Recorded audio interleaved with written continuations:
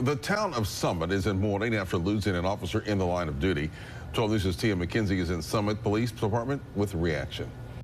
There has been an outpouring of support from the community. People have been stopping by the Summit Police Department to pay tribute to Officer Troy Floyd. McComb police responded within less than five minutes after hearing an officer was down. That's when a manhunt for the suspect began. Two McComb officers were injured after making contact with 25 year old Usher Leonard. McComb Chief Juan Cloy says Leonard fired his weapon before being shot and killed by law enforcement. Cloy gave an update on the McComb officer's condition before sending his condolences to the Floyd family. Flags are now at half staff around parts of the Magnolia State following Thursday's shooting that claimed the life of the beloved veteran cop.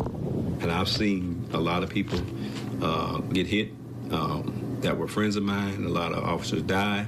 Didn't think that that would happen down here and um, we try to prepare as best as we can here with what I learned from Jackson. Um, but um, you never can prepare for this, no matter where you work. So, uh, but it was, it was, it was a bad day for me. Um, but I can't. It was the worst day for the Floyd family. The two officers who were injured are now on administrative leave.